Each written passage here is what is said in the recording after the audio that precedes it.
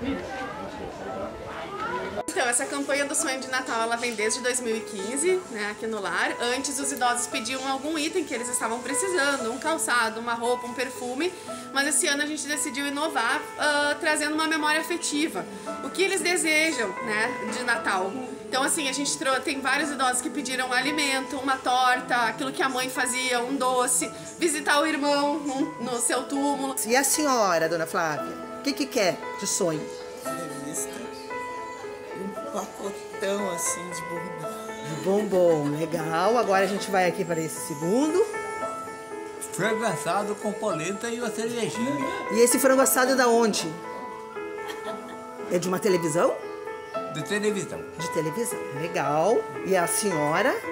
Bombom. Bombons. E a senhora?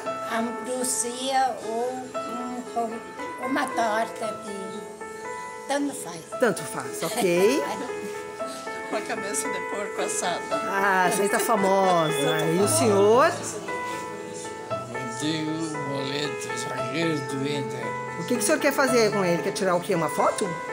Quer apertar a mão dele e agradecer por ele me visitar.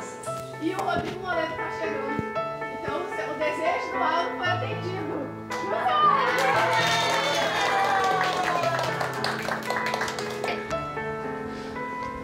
É ele? Calma, calma, calma.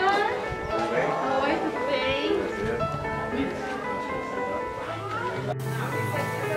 Aí, Moledo, a gente fez o seguinte, ó. Quem era colorado botou a camiseta do Inter. Muitas camisetas é do seu Aldo, porque ele tem coleção de camisetas. Aham. E outros, os gremistas colocaram as camisetas, porque é pra valorizar também a tua vida aqui hoje, né?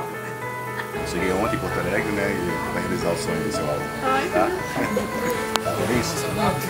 Feliz. Muitas pessoas me mandaram foto, Eu aí eu fiquei convido a vir aqui nos conhecer pessoalmente. Tá? Espero que tenha gostado da camisa.